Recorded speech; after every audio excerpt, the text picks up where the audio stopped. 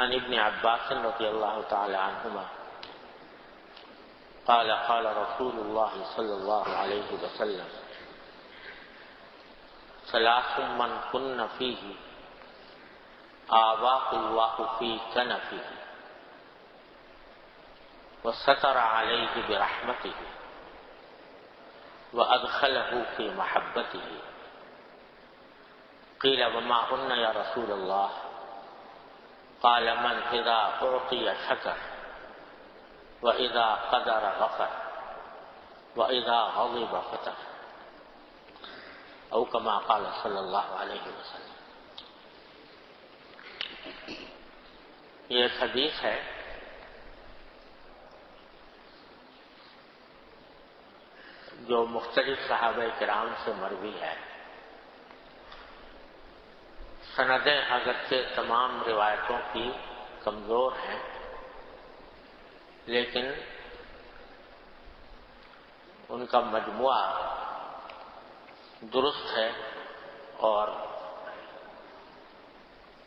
मुतद साहब कराम से और मुतद सनदों से मरबी होने की बिना पर यह हदीस काबिल अतमाद है। इसमें मजकूर है कि नबी करीम सरवर आलम सल्लल्लाहु अलैहि वसल्लम ने इरशाद फरमाया कि तीन चीज़ें ऐसी हैं कि अगर वो किसी शख्स में पाई जाएँगी, तीन सिफात हैं जो अगर किसी शख्स में पाई जाए, उस पर जमा हो जाए तो फरमाया कि अल्लाह तबारक वाली उसको अपनी गोद में पनाह देंगे। अपनी गोद में पनाह देंगे, अपने पहलू में पनाह देंगे, गोद में पनाह देंगे, दोनों तरह तर्जमा कर सकते हैं। और उसके ऊपर अपनी रहमत का पर्दा डाल देंगे। रहमत का पर्दा डालने का माना यह कि अगर कोई गलती, गुनाह वगैरह भी उससे सरगर्द हो जाए नादानी में तो अल्लाह तबारक वाली उसके साथ सत्तारी का मामला फरमाएँगे। उसके अयूब पर पर्दा डाल देंगे अपने रहमत का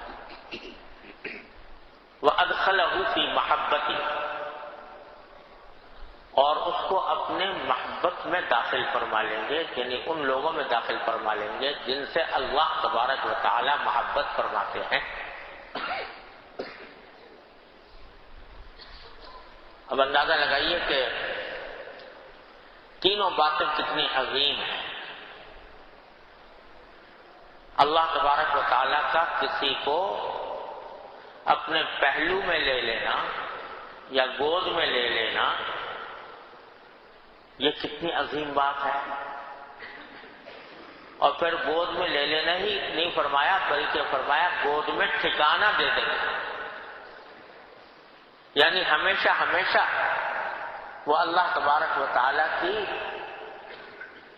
गोद में रहेगा। कोई बाप अपने बेटे को गोद में लेता है तो किस मोहब्बत से लेता है, किस प्यार से लेता है, उसको कोई आँच नहीं आने देता। तो अगर किसी को अल्लाह तबारक वाली अपनी गोद में ले ले तो इसके माना यह कि उस पर कोई आँच नहीं आने देंगे। इतनी बड़ी बात। है और रहमत का पर्दा डाल देंगे। रहमत का पर्दा, अल्लाह तबारक वाली की रहमत का पर्दा इंसान के ऊपर पड़ा हुआ हो तो अव्वल तो उससे गुनाह सरजद ही नहीं होंगे। और अगर कभी नादानी से, गफलत से कोई हो भी गया तो अल्लाह तबारक वाली की तरफ़ से पर्दा पड़ा हुआ है कि उसकी इंशाला मुआफी की अल्लाह ताला से उम्मीद है।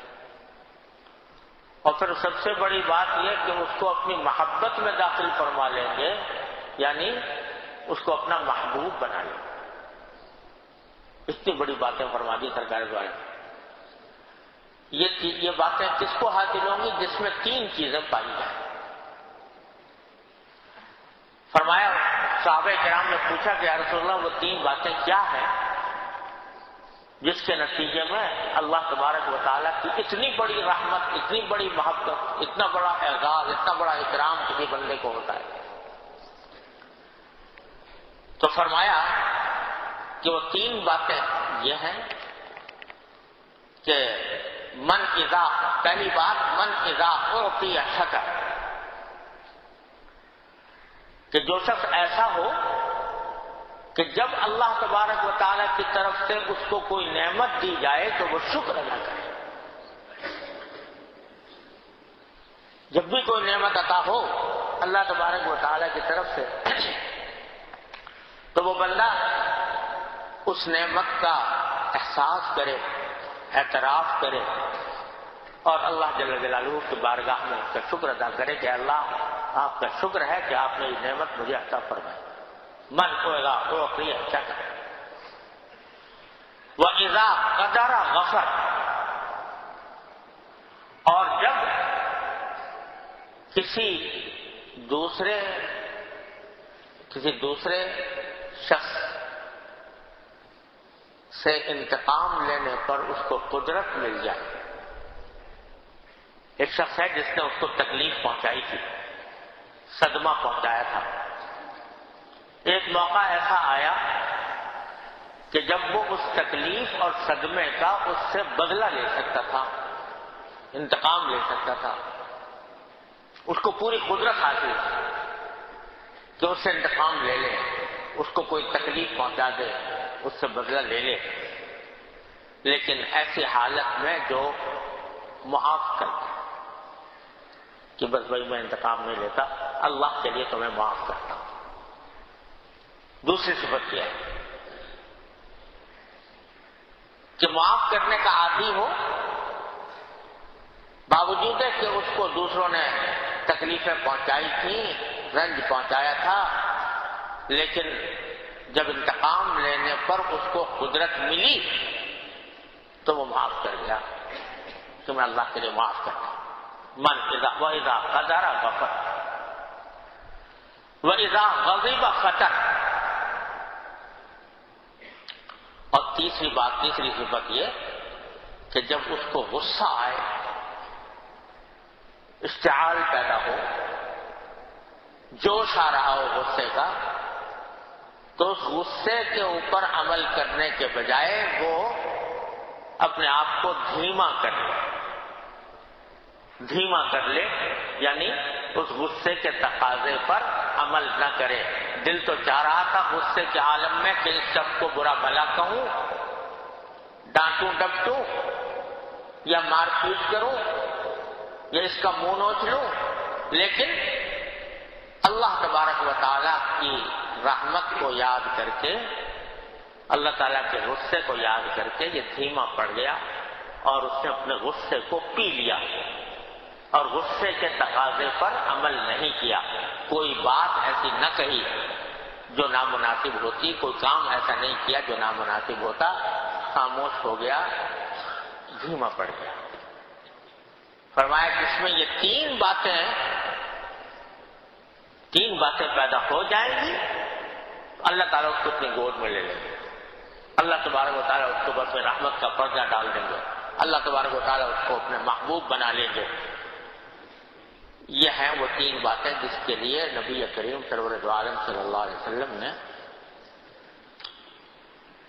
इतनी बड़ी फजीलत बयान फरमाई। और इसी हदीस की बाज रिवायतों में अल्फाज यूँ हैं कि मनिबतुलिया का सबर व उड़तिया का शकर व गुलिमा का गफर व गलमा फस्तगफर और कमा कर उसमें चार बातें फ़र्क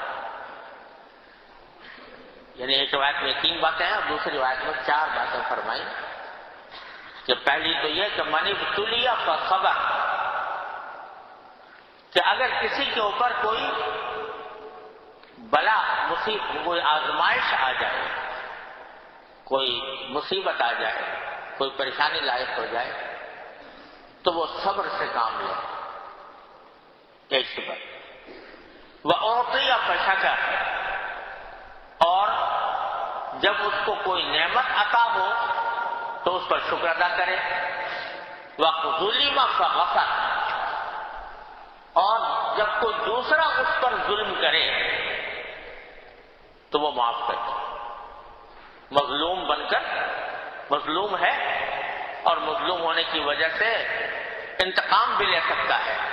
लेकिन मजलूम होने के बाद, दूसरे का जुल्म सहने के बाद माफ़ कर दे चलो भी मैंने माफ़ कर दिया।